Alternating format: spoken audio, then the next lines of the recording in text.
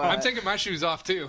Yeah, I have my Anthony's shoes off. got his shoes off. I'm, this is This is just a lounge. yeah. Let's make this podcast room there. smell like feet. Oh, there go Ryan Scott's. I'm keeping mine on. He's wearing some elegant black socks for those of you listening at home. Yet he's still wearing the same Doug Funnie shirt and pants that he wears every day.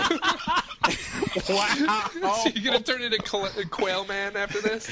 Yeah, where's where's Patty Mayonnaise? Well done.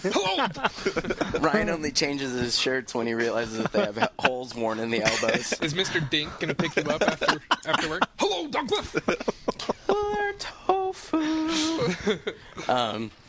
So What was his? What was his boy's name? Skeet. Skeeter? Oh yeah, that's far That from wasn't Skeet. Was that what he did? Skeeter? No, he'd be like, Dog. Hey, Doug.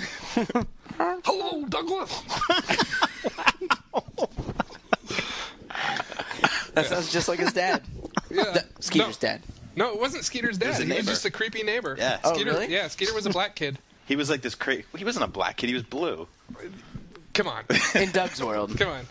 In the in the world of the nematode, that was a black kid. What did that make Patty? Because she was kind of darker skinned too. Patty was uh, Mexican. Yeah. That's And what I this was gonna say, like, episode, so- the game SoCal. fight. No, it was everyone on. we the, debate the ethnicity of the Doug characters. Um, What So- was what was Roger the school bully? He was green. Roger. Roger. Uh. Roger was just sick. Roger had AIDS I think he was Native American.